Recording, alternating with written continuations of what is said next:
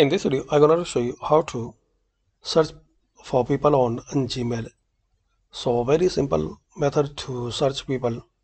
Firstly, open and sign in your Gmail account. Then here you can search people in search mail. Just you need to type name.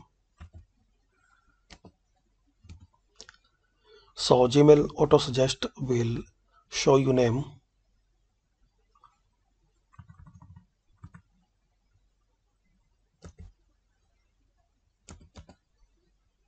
like this.